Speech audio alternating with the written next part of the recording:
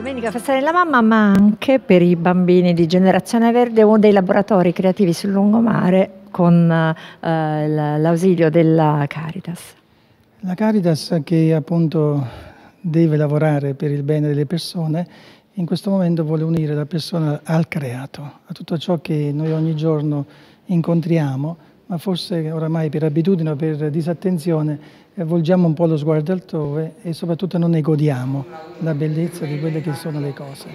Quindi in questi anni anche su una realtà che abbiamo su Eboli, che una, abbiamo una struttura per l'accoglienza, abbiamo pensato anche a una realtà di verde, una specie di golf didattico di persone che si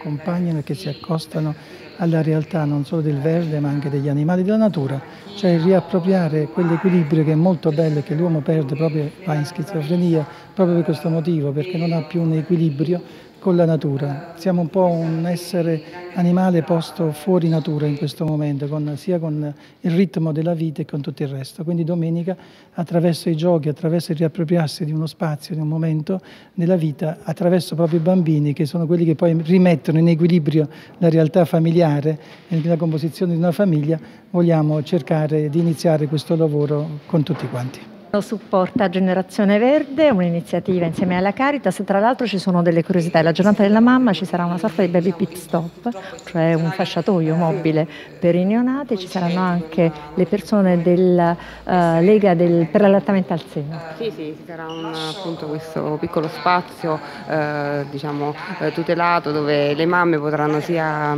cambiare il pannolino sia eh, sia cambiare il pannolino sia appunto allattare i propri bambini in tutta eh, serenità. Eh, cosa particolare ci sarà anche un laboratorio per eh, i bambini ehm, ma anche per gli adulti che potranno porre delle domande, eh, domande che troveranno una risposta eh, sicuramente nelle, nelle, parole insomma anche del, dell'enciclica di Papa Francesco perché questa iniziativa è stata fatta proprio per diciamo in, in, in sinergia anche con l'enciclica di Papa Francesco. agradezco.